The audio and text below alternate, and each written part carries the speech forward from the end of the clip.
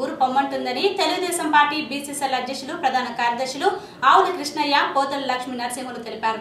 మంగళవారం స్థానిక అనంతపురం జిల్లా తెలుగుదేశం పార్టీ కార్యాలయంలో టీడీపీ బీసీసీఎల్ జిల్లా కమిటీ పాత్రికేయుల సమావేశాన్ని నిర్వహించారు.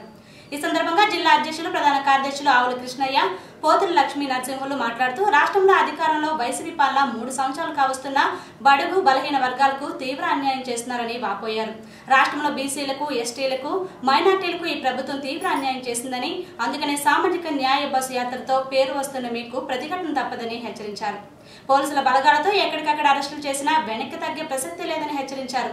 ప్రభుత్వ పథకాలు మంజూరు చేసి బీసీలకు ఆర్థికంగా సామాజికంగా రాజకీయంగా ఎదుగుదలకు ఉపయోగపడిన తర్వాతనే ఇలాంటి బస్సు యాత్రలు చేయాలని హితవు పలికారు. ఈ కార్యక్రమంలో జిల్లా ప్రధాన కార్యదర్శి పోతుల లక్ష్మీ నరసింహులు అధికార ప్రతినిధులు బోయ సత్యనారాయణ బండి పరశురాయుడు తదితరులు పాల్గొన్నారు. నా ఓకేనా? నా ఓకేనా?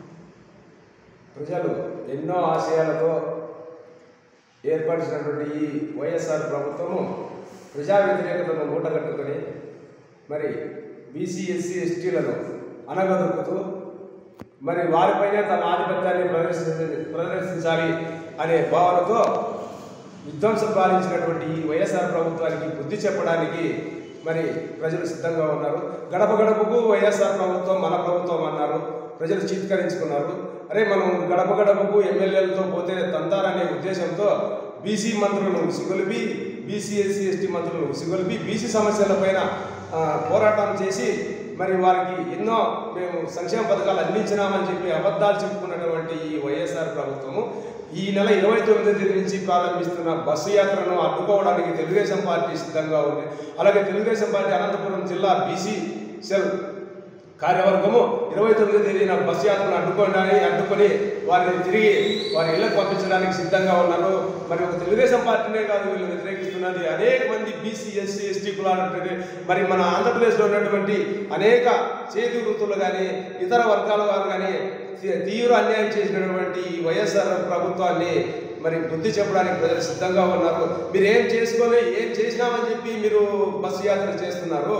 ఈ ప్రజా వ్యతిరేకత చూడలేక ముఖ్యమంత్రి పది రోజుల పాటు మరి దావోస్ పర్యటనకి వెళ్ళాడు అక్కడ దాచుకోవడానికి. దావోస్ పర్యటన చేస్తున్నటువంటి దండగ చంద్రబాబు నాయుడు అన్నటువంటి ఈ ఈ వైఎస్ఆర్ ప్రభుత్వంలో ఉన్నటువంటి మంత్రులు ఈరోజు మరి జగన్ ఏ విధంగా మరి దావోస్ పర్యటన పోయి పెట్టుబడులను ఆకర్షిస్తున్నారు? సొంత రాష్ట్రాన్ని సకరించలేని ఈ పెద్ద మనిషి ఏ విధంగా నువ్వు ఆకర్షించుకోవాలని ప్రయత్నించడం మాకైతే అర్థం కాలేదు. యాభై ఆరు బీసీ కులాల కార్పొరేషన్లు నువ్వు పెట్టావు. ఏ కార్పొరేషన్కైనా ఒక్క రూపాయి నిధులు ఇచ్చావా? అమ్మఒడి చేస్తున్నాను బీసీలకు మీ ఎస్సీలకు అమ్మఒడి ఇస్తానన్నటువంటి నువ్వు కరెంటు బిల్లులు పెంచినావు. తర్వాత ప్రజలు వాళ్ళు నిత్యావసరాలు విపరీతంగా పెరిగి ఆకాశం కంటున్నాయి ఆ ప్రజాగ్రహాన్ని ఈ బస్సు యాత్ర చేస్తున్నటువంటి మంత్రులు చెవి చూడక తప్పదు. ఈ వైఎస్ఆర్ ప్రభుత్వానికి అంతిమ గడియలు దగ్గరకున్నాయి కాబట్టి మరి అన్ని సామాన్యులు కొనలేనటువంటి రీతిలో నిత్యావసరాలు పెరిగినాయి. మరి ఉన్నావు నువ్వు. మరి నువ్వు బీసీలకు ఉద్ధరిస్తానన్నటువంటి నువ్వు మన ఆంధ్రప్రదేశ్లో బీసీలు లేరా తెలుగుదేశం పార్టీ ఏనాడో తెలంగాణ ముఖ్యమంత్రి అభ్యర్థిగా ప్రకటించిన ఆర్ కృష్ణని తీసుకుని వచ్చి ఇక్కడ నువ్వు రాజ్యసభ ఏ, టికెట్ ఏ విధంగా ఇచ్చినావు? అంటే ఆంధ్రప్రదేశ్లో నీ వైఎస్ఆర్ ప్రభుత్వంలో రాజ్యసభ తగినటువంటి అభ్యర్థులే లేరా? నీకు సొంత లాయర్. నీ నీ కేసును చేయడం లాయర్ తీసుకొని పోయి నువ్వు రాజ్యసభ టికెట్ ఇచ్చి నీవు మంత్రులను నీ ఇక్కడ ఉన్నటువంటి వైఎస్ఆర్ కార్యకర్తలను అవమానించినటువంటి నువ్వు బీసీలకు ఏం పొడిచినావు ఏం చేసినావు ఏం మొరగబెట్టినారని చెప్పి మీరు బస్సు యాత్ర చేస్తా ఉన్నారు. బస్సు యాత్రని అనంతపురం జిల్లాలో అడుగు పెట్టనివ్వకుండా వారిని అడ్డుకునేదానికి మరి తెలుగుదేశం పార్టీలో తెలుగుదేశం పార్టీ నుండి మిగతా విభాగాలు ప్రజా సంఘాలు ప్రజలు కూడా సిద్ధంగా ఉండి మీకు బుద్ధి చెప్పడానికి సిద్ధంగా ఉన్నారు. నువ్వు సొంత రాష్ట్రంలో బీసీలకు రాజ్యసభ పంపించలేనటువంటి నువ్వు బీసీలను ఏముద్ధరిస్తావని చెప్పి నువ్వు అనుకుంటున్నావో మాకైతే అర్థం కావడం లేదు. నీ కార్యకర్తలు మీ నాయకులు అంతర్గతంగా వాళ్ళే చెప్తున్నారు. తెలంగాణ మేము కష్టపడేది మేము. ఇచ్చేది తెలంగాణలో ఉన్నటువంటి బీసీలకు ఇస్తున్నాడు. ఇక్కడ బీసీలు ఎదిగితే మాకు ఇబ్బంది అనే ఉద్దేశంతోనే నువ్వు ఆరు కృష్ణ తీసుకుని వచ్చి అలాగే తెలుగుదేశం పార్టీలో ఉన్నటువంటి బీద మస్తాన్ రావు గారిని కూడా భయపడించి నువ్వు నీ వై- వైపు లాక్కొని రాజ్యసభ ఆంధ్రప్రదేశ్ రాష్ట్ర ప్రభుత్వం సామాజిక న్యాయ బస్సు యాత్ర పేరుతో ఈ నెల ఇరవై ఆరో తారీఖు నుండి కూడా ఇరవై తొమ్మిదో తారీఖు వరకు నాలుగు రోజుల పాటు నాలుగు ప్రాంతాల్లో పర్యటించడానికి శ్రీకారం చుట్టారు యువజన శ్రామిక రైతు కాంగ్రెస్ పార్టీకి ఈ రాష్ట్ర ప్రభుత్వానికి. ఆంధ్రప్రదేశ్ రాష్ట్ర ప్రజలు గడప వద్దంటాంది ఊరు పొమ్మంటాన్ని అనేటువంటి పద్ధతుల్లో ప్రజలందరూ కూడా చిత్తరించారు అందుకనే గడప గడప ప్రోగ్రాంను పక్కన పెట్టి ఈ రాష్ట్రంలో ఉన్నటువంటి బీసీలు ఎస్సీలు ఎస్టీలు ముస్లింల మంత్రులను బస్సుల్లో ఎక్కించేసి ఈ ప్రాంతంలో ఉన్నటువంటి బీసీ సోదరులందరినీ కూడా ఆకట్టుకోవడానికి ప్రయత్నం చేస్తున్నారు.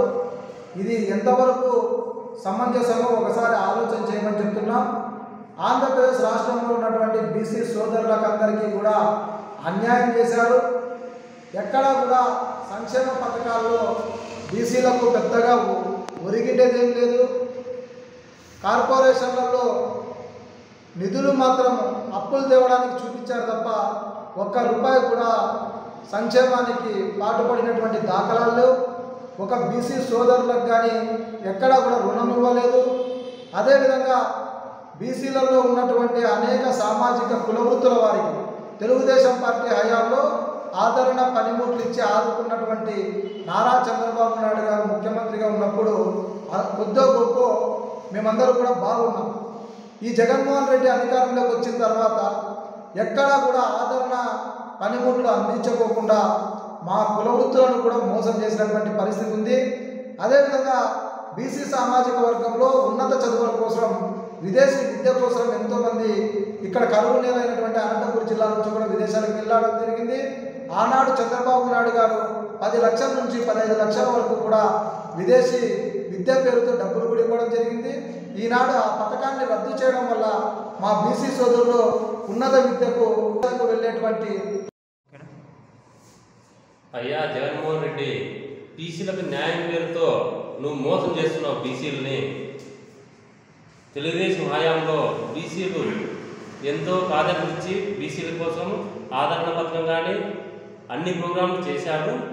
నువ్వు వచ్చిన తర్వాత ఎలాంటి బీసీల కోసం ఉపయోగపడే ఎటువంటి ప్రోగ్రాం చేయడం లేదు.